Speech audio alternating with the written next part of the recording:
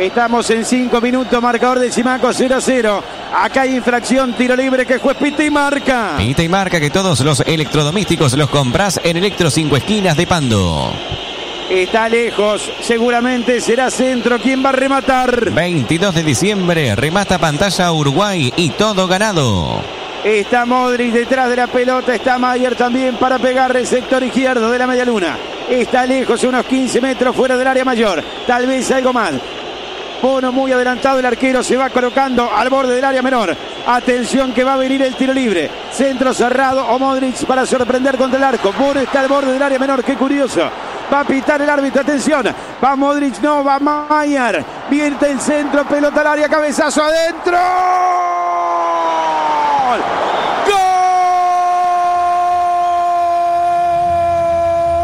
¡Gol! De Croacia, Bardiol de Croacia. Bardiol apareció. Jugada preparada. Estas que se arman al decir de los viejos relatores. Jugada de laboratorio.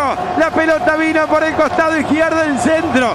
Que metió Mayer. Amagó Modric. Pasó por arriba de la pelota.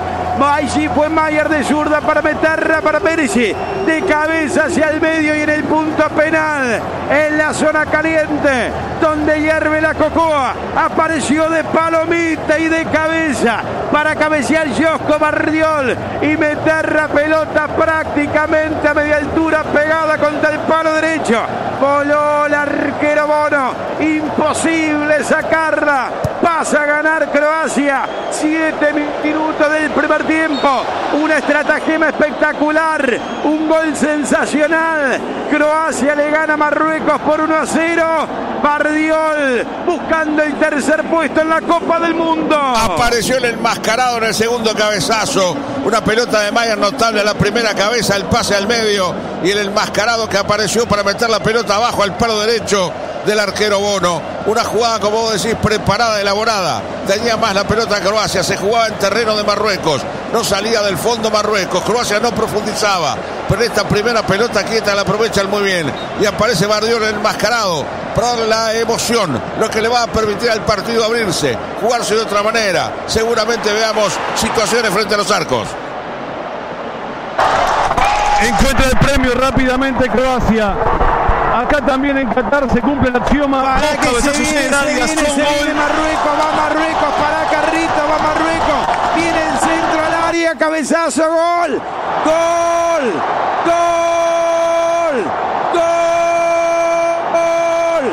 gol de Marruecos para mí Darí, eh. para mí Darí, para mí apareció el número 20, Kraf Darí, vino del centro, Sillep la metió hacia el área, Mayer cabeció mal hacia atrás.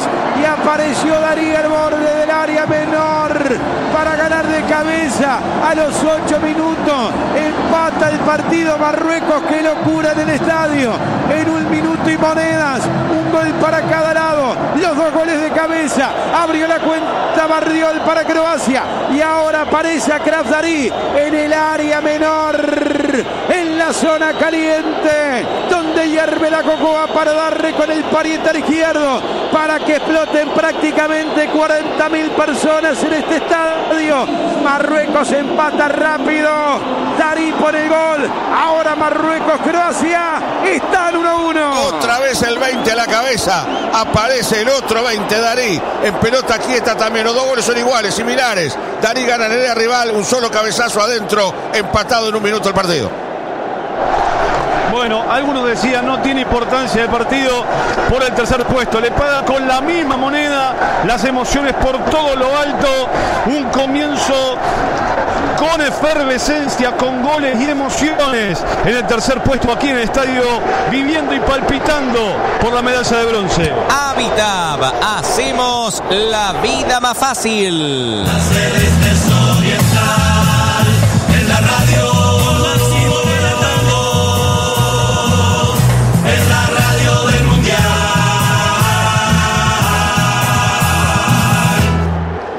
Radio Oriental después de este ataque la tiene Mayer. Mayer a la derecha, se viene el ataque Croacia, tocaron atrás. Le quedó Mayer, va a tirar de zurda, la adelantó, recupera. Marruecos la pierde en la salida. La roba Croacia, puede venir el otro a colocar Perisic.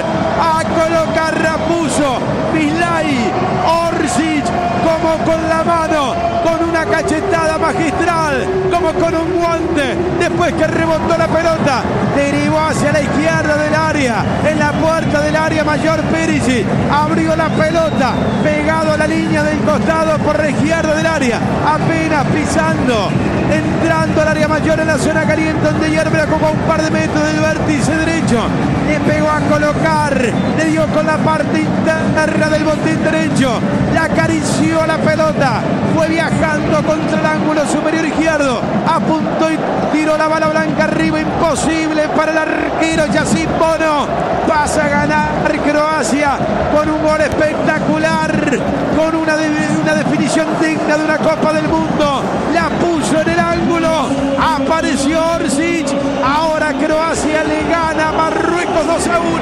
Fue un verdadero golazo. Como le pega de primera, levanta, le da. Por ese sector gana permanentemente Croacia.